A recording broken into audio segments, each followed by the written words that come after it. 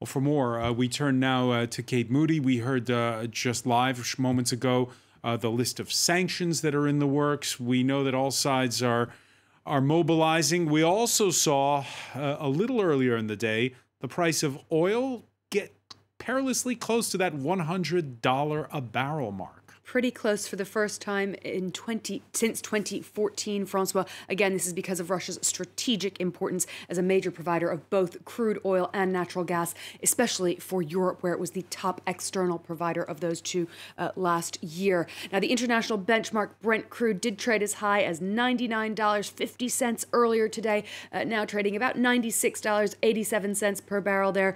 Uh, US WTI at a high of $96 a barrel earlier now back just under 93. The major European indices were still volatile today, but we did see a fairly flat close to the trading day. Uh, the FTSE 100 in London closing just slightly above the flat line. The CAC 40 and DAX slightly below. We should have those closing figures from the European indices there showing that mixed and very, very muted close.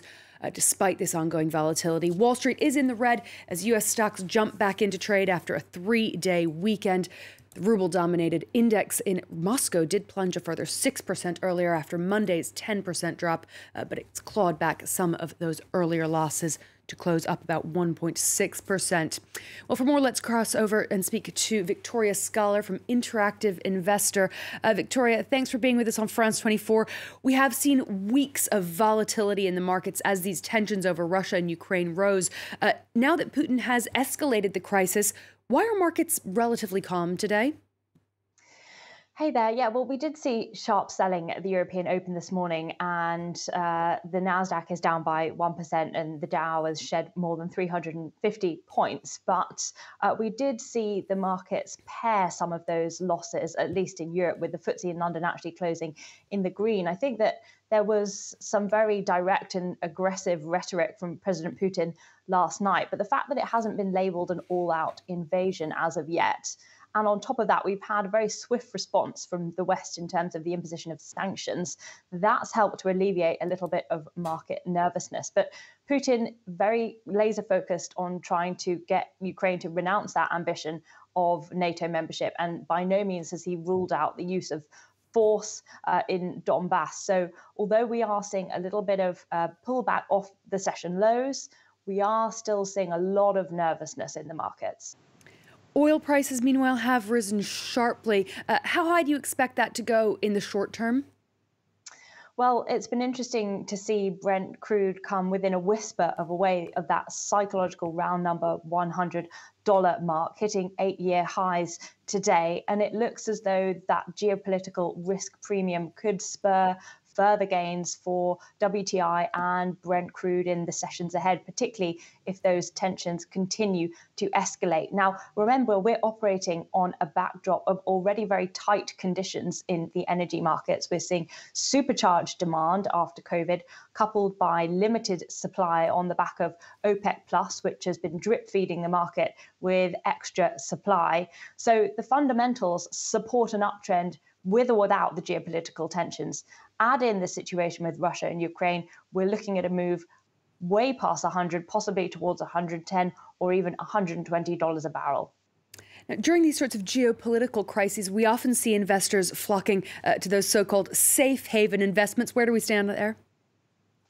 Well, it's been interesting to see that gold has really been catching a bid as well as silver. So it's the precious metals that have really been benefiting along with the Japanese yen. We've seen investors looking for ways to protect their wealth uh, amidst that volatility that we've seen in equities and the volatility in oil as well.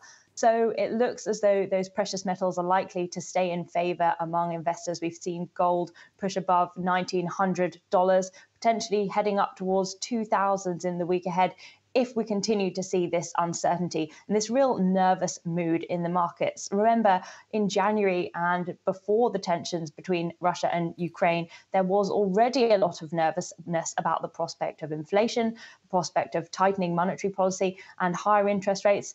Now we're adding these geopolitical tensions to add to the cocktail of pressures in the markets.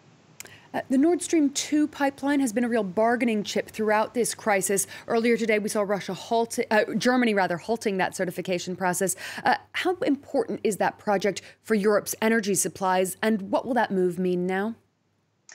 Well, clearly, Nord Stream 2 is very important both for Russia and Germany. It's a huge project worth $11 billion, and it's been facing delays since its completion back in September. And it comes amid rising oil and gas prices, which have been contributing to this so called cost of living crisis amid this backdrop of inflation. So, the fact that the project has now been frozen means that those upward pressures show no signs of abating in the short term. And oil and gas accounts for around half of Russia's exports and about 25% of Germany's energy supplies from gas, half of which is from Russia. So, really, long term, this creates questions for Europe about its energy mix, where it's getting its energy from, its energy partners and sources.